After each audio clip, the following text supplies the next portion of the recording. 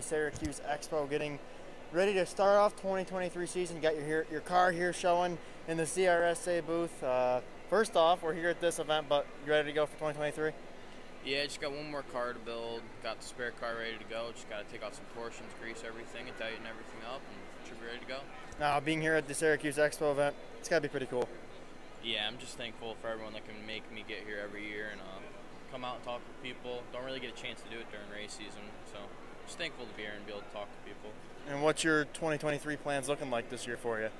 Going for the championship at CRSA. Got a 20 race series this year, so more opportunity to go for it. A lot more races this year, and uh, I think I'm gonna run some 360 stuff with the SS when I can.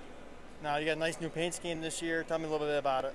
Yeah, it's actually a throwback to my go kart days. Um, not a lot of people it, have seen but- it. Yeah, but I got the fluorescent orange and sparkles, and uh, it looks nice. I love it.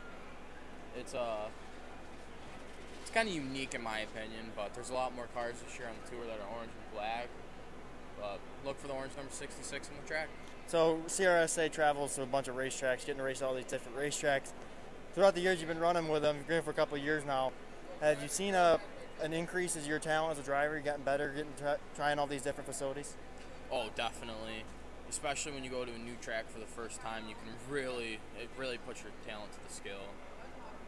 So uh, getting to travel all these tracks, you got a favorite? Oh, Fonda. Come on now. Fonda's my favorite. And why is that? Top three finishes there. So the overall goal, obviously, to win a championship this year. Uh, getting to race all these CRSA, it seems like it's a lot of like newer guys getting wanting to get into sprint cars.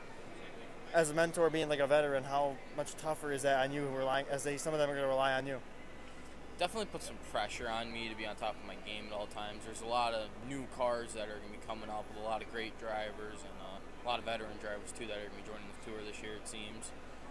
Should be a lot of fun and very challenging to get wins. Got to take them when we can and try and score top threes and be consistent all year round. Jordan Hutton getting ready to go for 2023 season, but hanging out here at the Syracuse Expo Center. Best of luck to you.